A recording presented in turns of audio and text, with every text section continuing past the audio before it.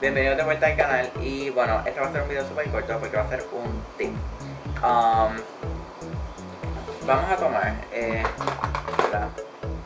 vamos a suponer que tú quieres eh, utilizar eh, blush o contorno um, o highlight y no sabes cuán pigmentado es el, ¿verdad? el producto y tienes miedo de utilizar mucho. Yo tengo un tip en, ¿verdad? en cómo hacer que desaparezca eh, la apariencia un poco, ¿verdad? De que te haya juntado mucho de este producto. Pero, ¿verdad? Le voy a dar el otro.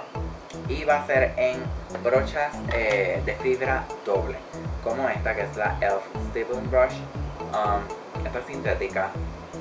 son estas brochas. Puedes utilizar esta. O puedes utilizar esta. Cualquiera de las tres. Depende, ¿verdad? Cuál sea la función y depende para qué te guste la brocha. Ok, tenemos este tipo de brocha. Este tipo de brocha no toma muy bien los productos eh, en polvo. Así que como no los agarra muy bien, entonces ahí puedes aprovechar para usarte tu blush. Puedes tomar y tomar porque cuando saques la brocha del producto va a caer un poco porque estas eh, celdas son demasiado, no son rígidas. Entonces son tan separadas que no van a tener la fuerza para aguantar el polvo. Así que, ¿verdad? Tomas el producto, lo utilizas y no vas a, ¿verdad? No te tienes que preocupar de que si tiene mucho la brocha o no, porque realmente no va a tener.